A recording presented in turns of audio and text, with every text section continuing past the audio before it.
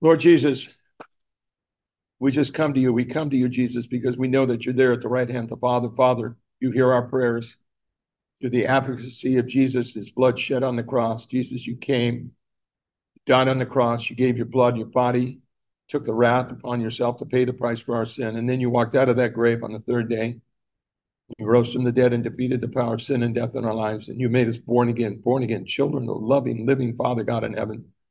Our name's written in the book of life for eternity. We're so thankful. What a blessing to say these words.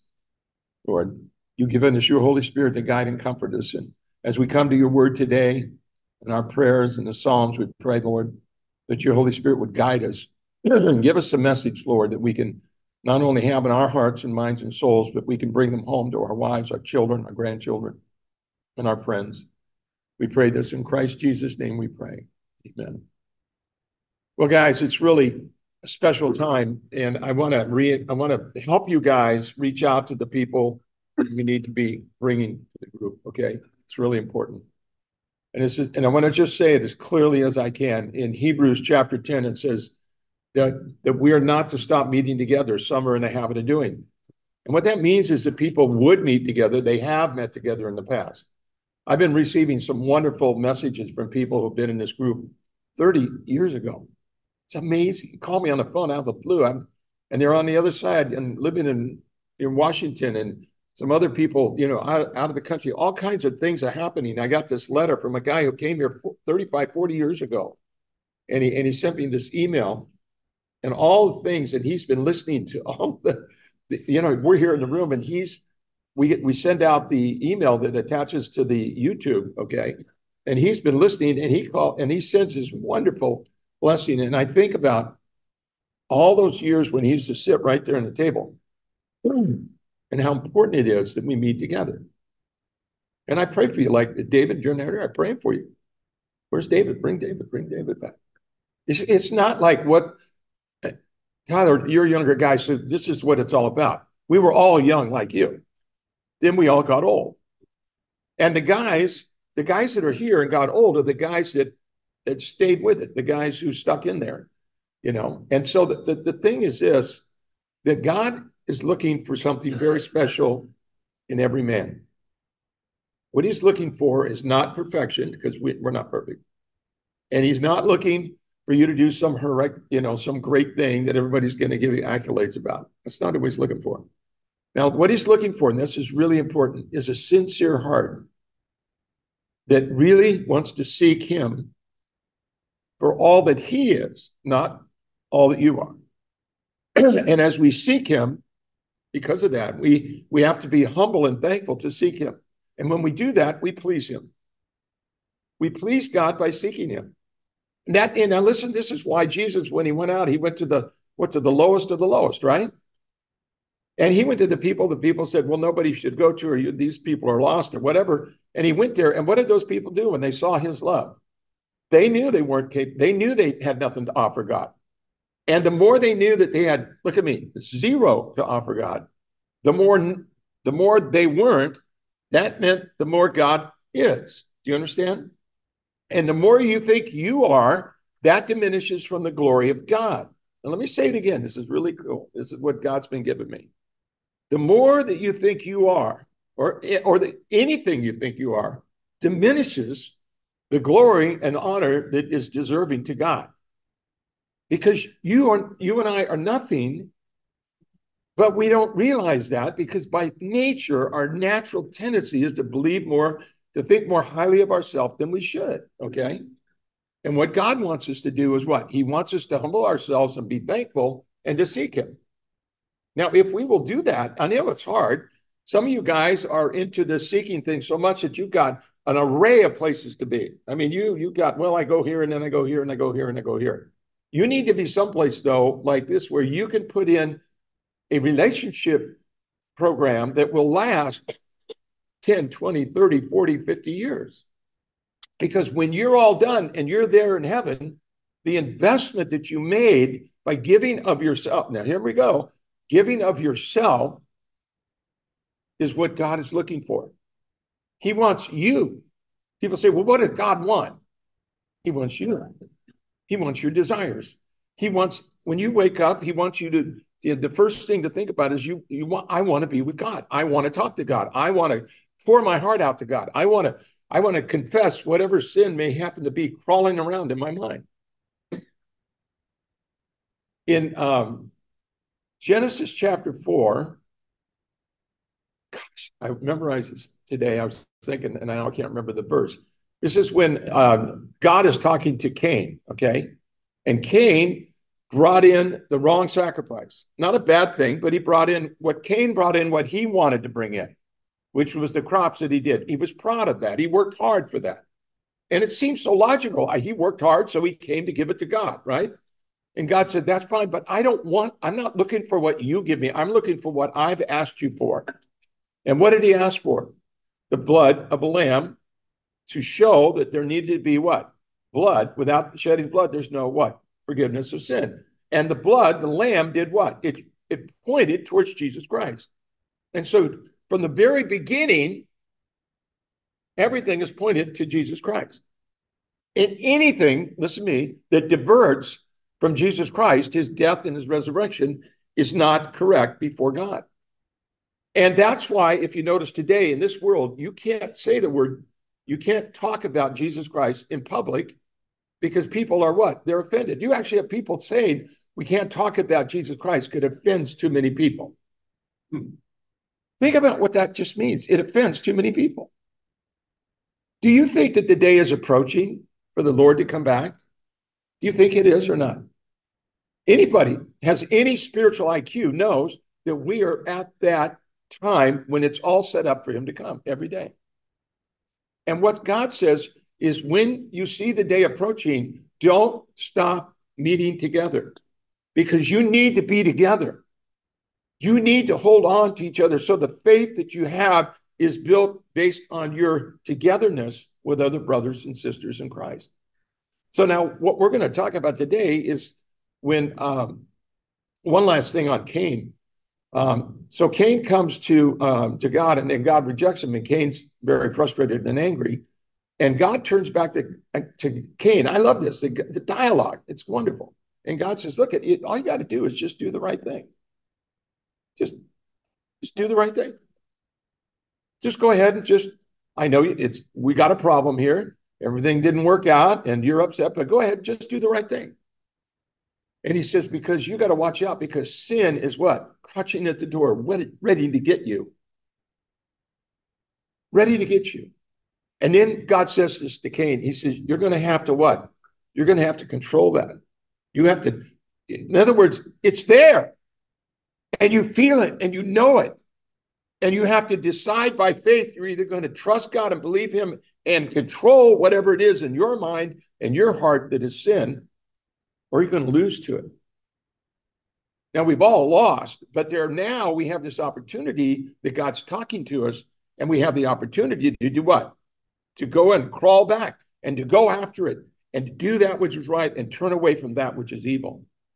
Now, how do we do that? Now, the Bible tells us clearly by eating and drinking the Word of God, by studying. And we're going to go through a process now with the Psalms because I want you to know what this is. What happened was that uh, Nancy and I would pray the prayer I gave you before, morning prayer. And then I, I, started out, it was just simple. This is the day the Lord has made. I'll rejoice and be glad in it. It just came out of my heart. That's what happened. So I started putting down the Psalms. Then I started one day, I literally thought, well, you know, I need to open up with something that gives me, like, I need to see, I need to see and know that God's working in my life. And then I thought, well, what Jesus in John 15 says, if you pray these prayers and ask for these things, I'll give them to you. And I thought, now, how does that work? You know, and then I read another place where it talks about you give, you know, what you pray for.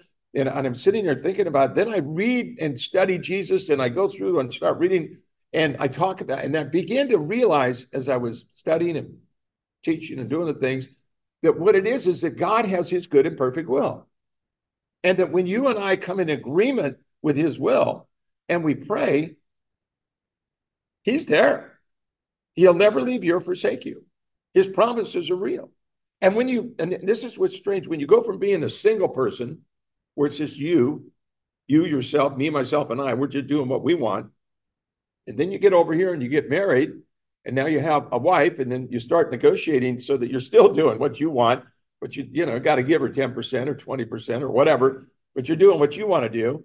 And then all of a sudden, she gets more in the relationship over a period of time. The woman gets more powerful because she's not that she's in love with you, but not like she was before in a different kind of way. She loves you. Okay. And you have to begin to be equal, equally yoked and together, right?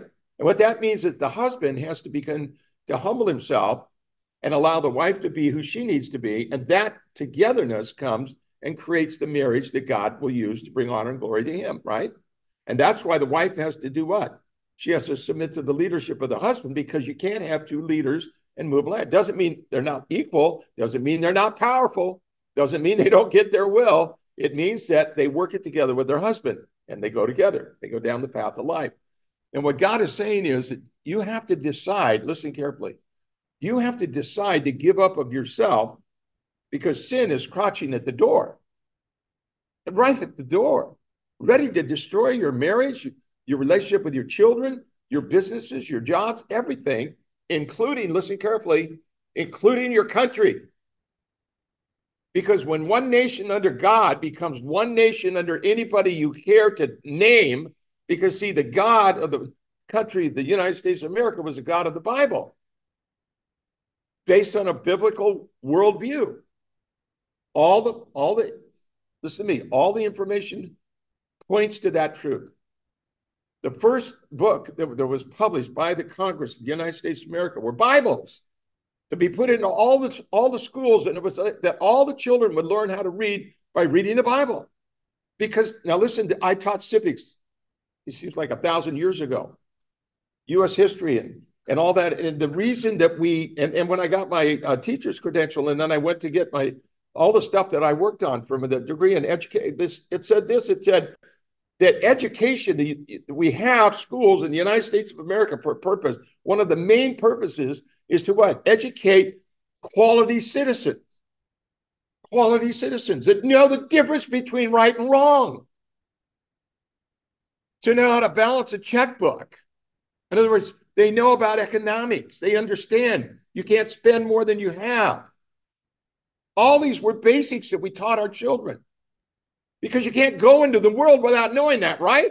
They don't teach it anymore. And now we send people to live out into the world without knowing what to do or how to do it. So when Nancy and I we're we're praying and we're we're going through our life and and our children's life and and then and then grandkids came along. I think this is about 10 years ago. I don't know, 15 years ago this happened. And I just said, you know, I need to connect. I need to connect, Lord, with you in a more meaningful way every day. I don't mean just every once in a while I go to church and then I come back and then I go work and then all of a sudden something happens. I need to pray. I find out somebody's sick or somebody, you know, one of the kids gets hurt. We're on the way to the hospital. You know, hey, dad, pray. You know, we got this emergency prayer times, right? Then I thought to myself, man, I don't want to go out in this world today. And especially when the ministry is going all over the world, people are doing all kinds of things and I'm, I'm dealing with, you know, all the pressures of normal life. I said, I need to know. I need to have the confidence in my faith, knowing that God is at work.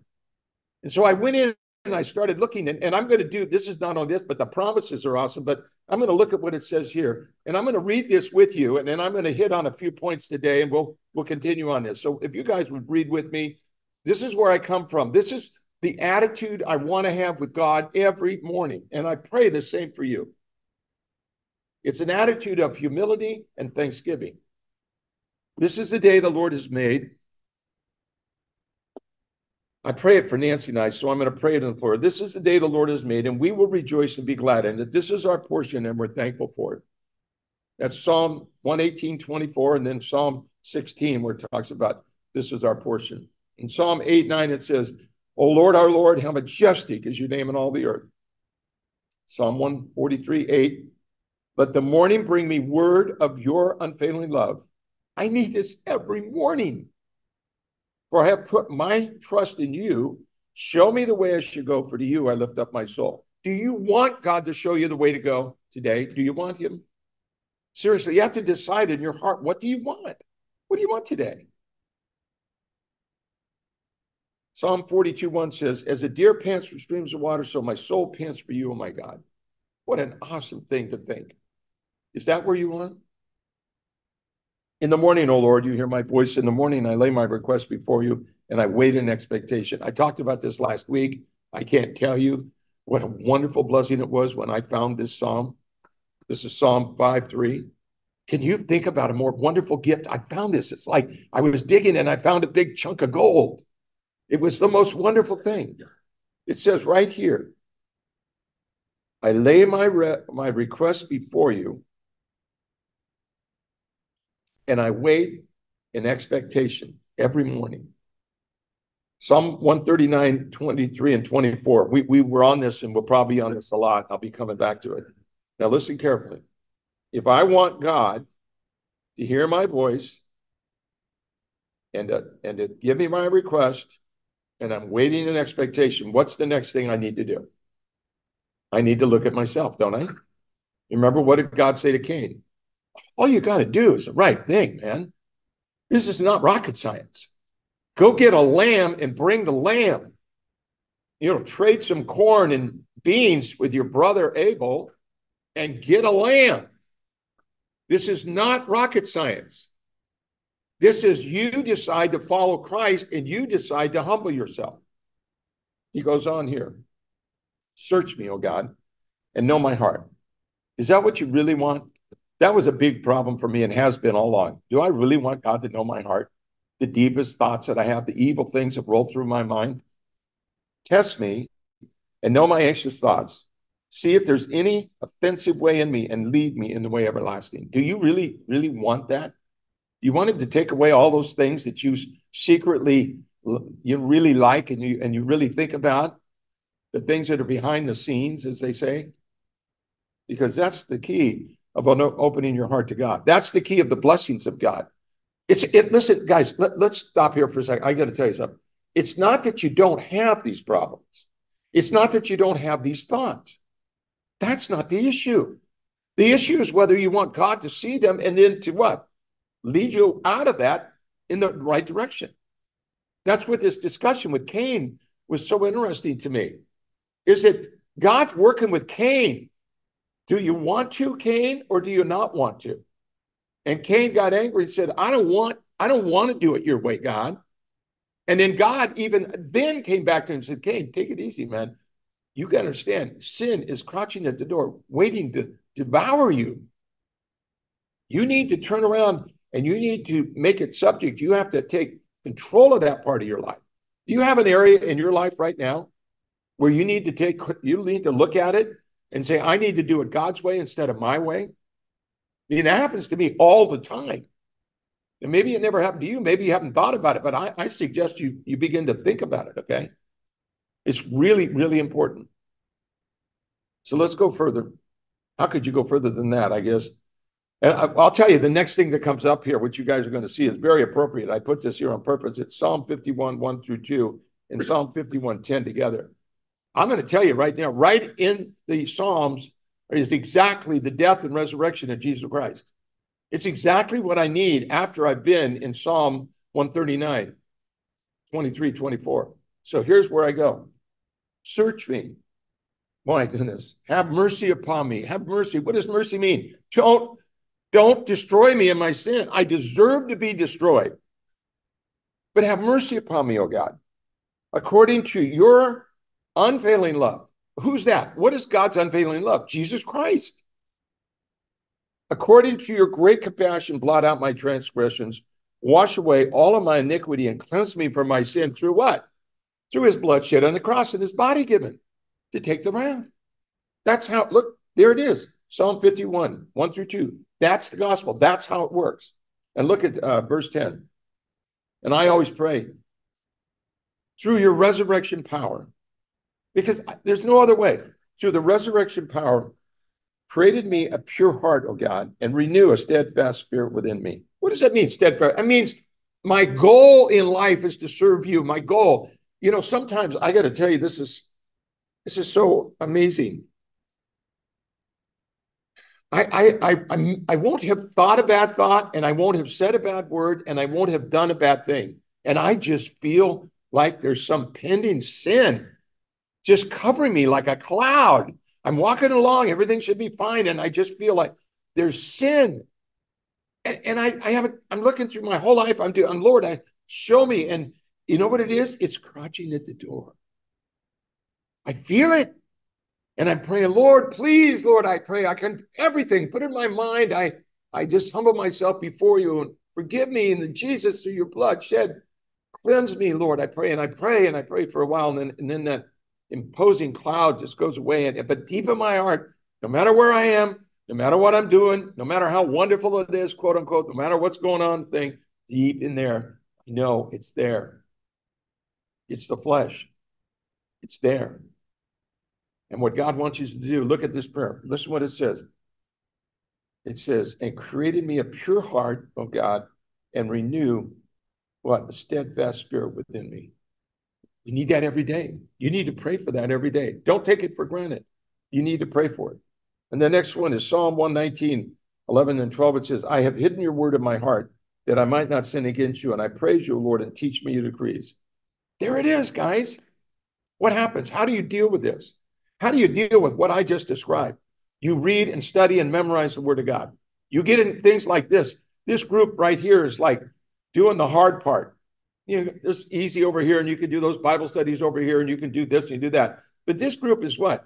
This group is going in there and digging it out, getting it out, getting the screwdriver and digging it out, getting the stuff out of there and getting it down. You can't even get the bolt on it until we get through cleaning it up. You got to clean it up so you can get the bolt on it and pull that sucker off and get in there and take care of what has to happen. You guys had never worked on an engine in your life back, I mean, back in the 50s, in the 60s, when I was back and they had you doing that kind of stuff, there were some things that you started working on that nobody had pulled that, that bolt off of that head, you know, for 15 years. And to get it off was not, and they didn't have a little spray can where you spray something on and went in there and did it. It didn't work that way. And there, I'm just telling you, and I'm not a, that old of a guy, older than some of you guys, but the point is that that stuff is real. And you have to listen carefully to what God says. You've got to get in there and let Him chip it off and let Him come in there and put yourself, listen carefully. This is the key to my long story there. Put yourself in a place where you can feel the screwdriver chipping away all the stuff off of you, okay? The barnacles, as they say. Let's go on.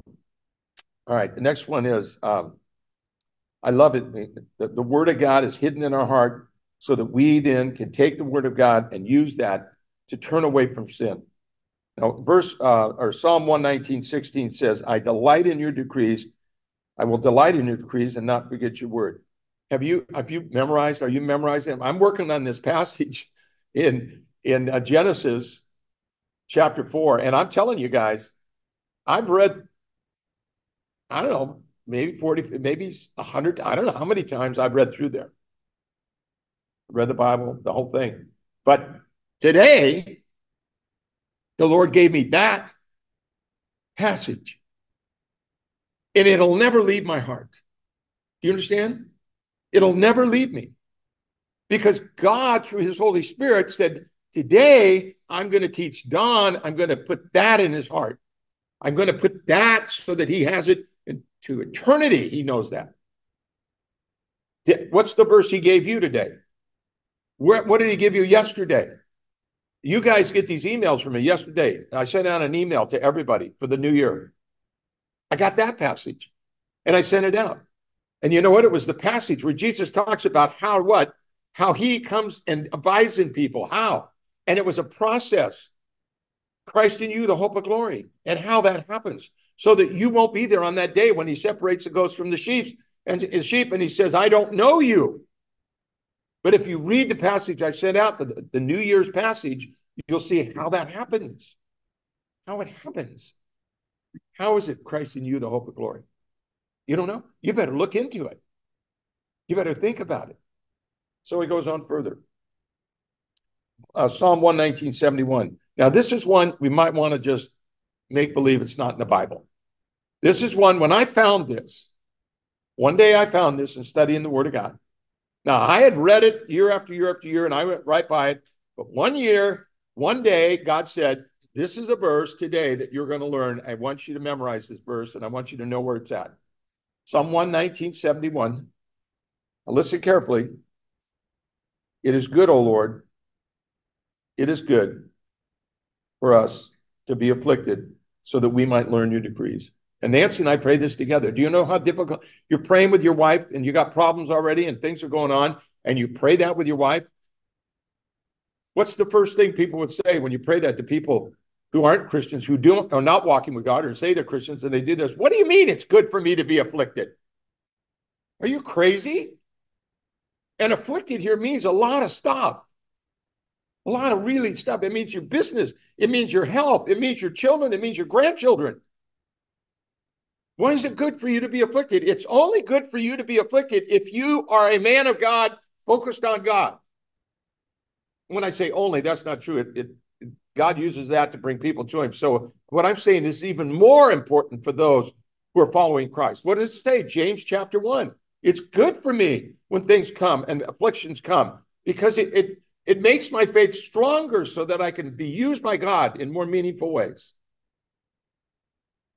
It is good, O Lord, for me to be afflicted, for it brings me to your decrees. It brings me to your word. Where does affliction take a person who's seeking God?